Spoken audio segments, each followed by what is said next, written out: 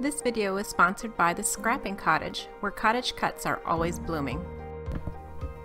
Hi everybody, it's Janet here for CottageCutz today. Welcome, and today I'm going to show you the Llamas and Botanicals set that just came out from CottageCutz. This includes a couple of uh, llama die sets as well as eight flowers and we've got also three cactus or succulent dies and altogether again there are 13 and they're just really wonderful. I'm going to be using the potted cactus dies and also the traveling llama die in the card that I'm going to show you here in this video. Here's a close-up of the packaging for traveling llama. It is adorable. And here's the card I'm going to show you how to make. And you'll see here that we've got the potted cactus in here uh, but I didn't use the pots, obviously, for this card, although you certainly could have. So I'm going to start by really spending some time here to show you how I colored up this llama die.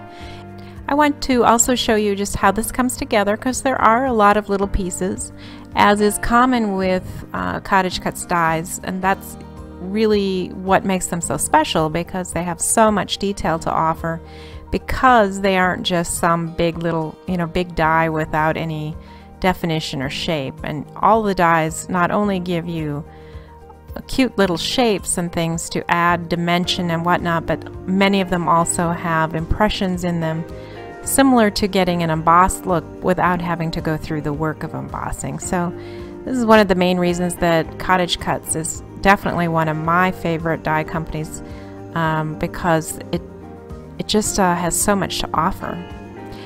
Now, here I had put together the saddle and I'm working on all the little satchels and pieces of baggage. This right there in the blue is like a briefcase kind of appearance. And then we've got another kind of traveling case there with buckles and leather straps. I mean, this is an example of all the detail we have. Now, the saddle I had used uh, some uh, dimensional dots so that it would stand up. And then I took the harness and attached it to the neck all the way up to the um, top of the saddle so that it would have additional dimension. Now you'll see that I added this strip of paper in the back of the llama and that's because uh, I want to build up some support for all the baggage. And then once I did that I cut off the excess on the top so that you wouldn't see it but this allows me to make the llama one full complete piece. Now here are the potted cactus dies. There's two of them in the set and I'm going to color these up for you as well. Now you'll see on the top of this this cactus there's some white remaining. I realized that after I finished the, the video um, and I did fix that so the entire die cut was uh, properly green. But uh, these cactus are really detailed again and so cute. And those dots that I added on that cactus, they're already imprinted into the die. I just used a, the darker green to go ahead and put the dots in.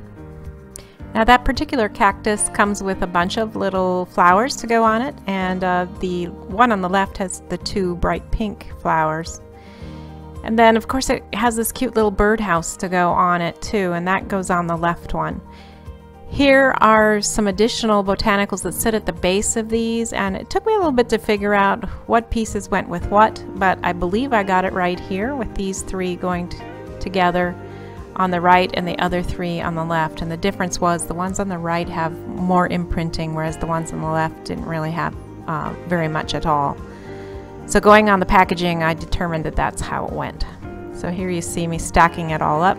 You could add more dimension here by using some uh, foam tape or something like that. I chose not to on this one.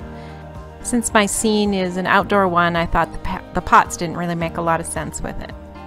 So what I wanted to show you here was how the uh, the dies come together with the botanicals at the bottom, the flowers that attach to it, and so on. Now I'm going to move on and show you the card construction itself and you'll see that I'm using my Spectrum Noir markers again here to color up two of the white mats for the card, one under the kraft and one under the lighter green. These were two colors in the die cut and uh, that will tie everything together. Now I did use a dry embossing folder from Tim Holtz to add a little dimension to the card and I also thought it kind of fit that theme uh, that went with the llama. Now this is an A2 sized card so that's four and a quarter by five and a half when it is shut and it opens on the side.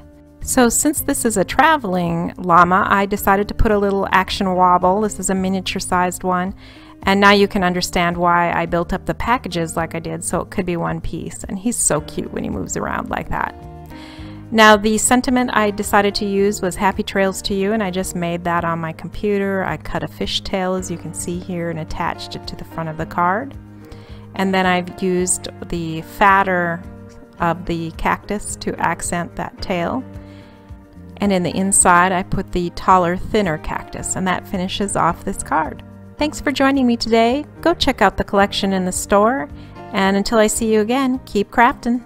Bye.